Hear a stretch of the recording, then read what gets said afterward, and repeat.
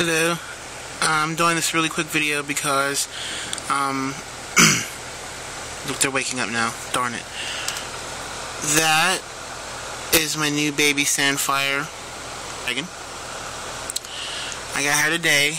They had a sale, and uh, luckily I got a female. So I can't wait for her to get of just a little bit bigger.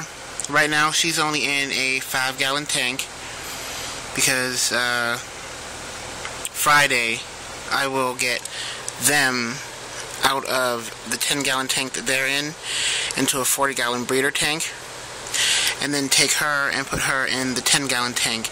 But since she's a female once she gets big enough I'll put her in there with the other two.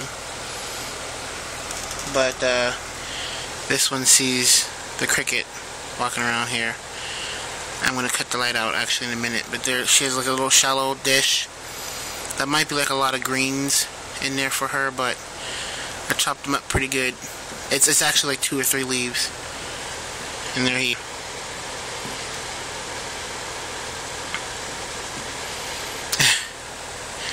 but yeah, that's my new baby.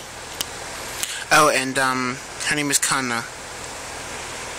I know it's kind of like a feudal Japan type of. They're all got Japanese names. It's sad but I like it.